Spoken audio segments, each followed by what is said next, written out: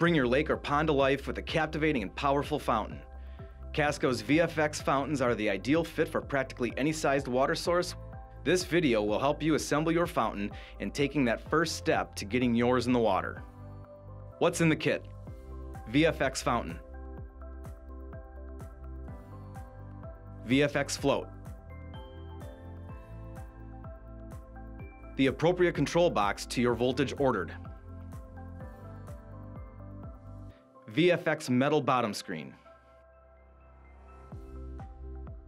3 4 inch mesh screen. Three 3 8 16 by 3 inch hex head bolts. Three 3 8 16 by half inch serrated hex head bolts. Three 3 8 inch lock washer. Three 3 8 by 1 and a quarter fender washers. Six quarter 20 by 1 inch hex head bolts. Six quarter inch lock washers. L brackets. VFX upper float screen. Eight zip ties. Three mooring ropes. What you will need. Number two Phillips head screwdriver. 7 and 16 inch socket and ratchet, 7 and 16 inch wrench. Let us get started. Place your Kasco VFX series fountain on a table or safe work area with plenty of space. Grab your L brackets, quarter lock washers, and quarter 20 by 1 inch bolts and install all three on the top half of the VFX fountain.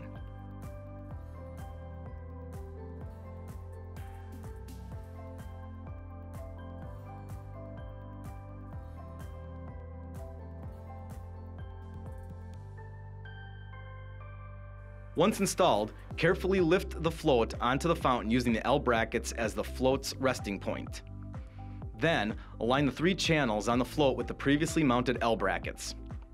Take time to ensure that the power cord is also aligned with its cutout on the bottom of the float as shown here. Then take your upper screen sections, 3 ace 16 by 3 inch bolts and 3 8 lock washers and attach to the top of the float.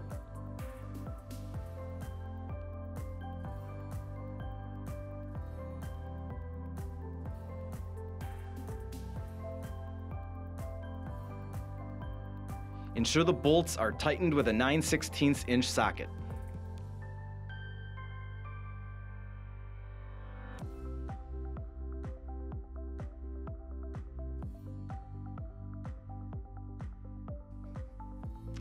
This next step you may need assistance from a friend. Carefully flip the fountain upside down so the float is on the bottom and the canister is on top. Place your bottom screen clips onto the float over the threaded holes. Then, take your serrated bolts and place them through the bottom screen clip and loosely tighten. Make sure there is still the availability to move or slide the bottom screen clip.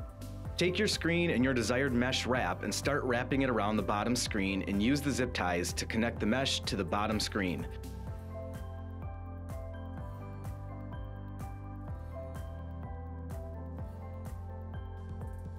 Once your mesh is installed, take the screen and slide it down the canister. Then take the clips and attach them to the metal part of the bottom screen as shown here.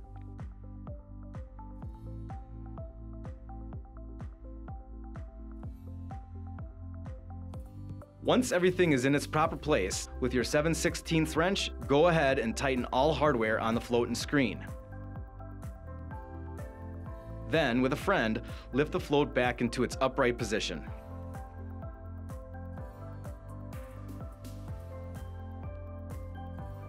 Now you are ready for installation in your pond or lake. And remember, if you have any issues, please give us a call at 715 262 4488, and the best customer experience team in the world will be able to help.